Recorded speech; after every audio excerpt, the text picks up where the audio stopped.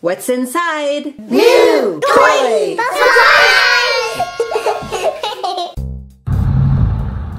PJ Masks, we're on our way into the night to save the day. I wonder what this is.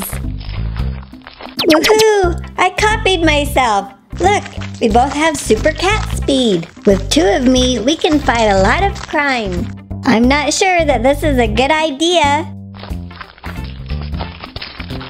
There's my copying invention. I see that you're a copycat. Give it back to me. No way, Romeo. I'm going to make a copy of my potato bot. Romeo, your potato bots are destroying the city. So, well, you don't want to take over the world if it's destroyed by your potato bots. That's true. Okay, I'll recalibrate my copy ray to turn them back into one. What? That is not what I was trying to do. He's so cute and funny. Now he can't destroy anything. Come on, Potato Bot. We need to go to my lab so that I can turn you big again. You've spoiled my fun this time, PJ Masks, but I'll be back. Oh no! What am I going to do? There's still two of me.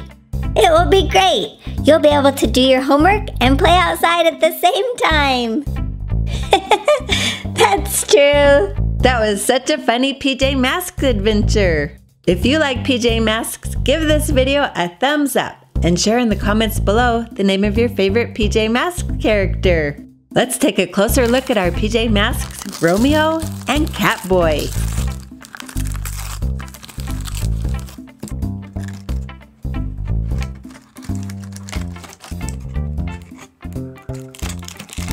These minifigures are very well made.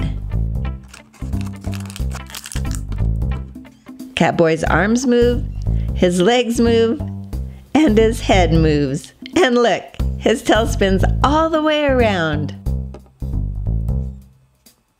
Romeo's arms move. His glasses do not come off, but the bottom of his lab coat comes off. And now we can see his green pants. His legs move. There's his backpack. Let's put his lab coat back on.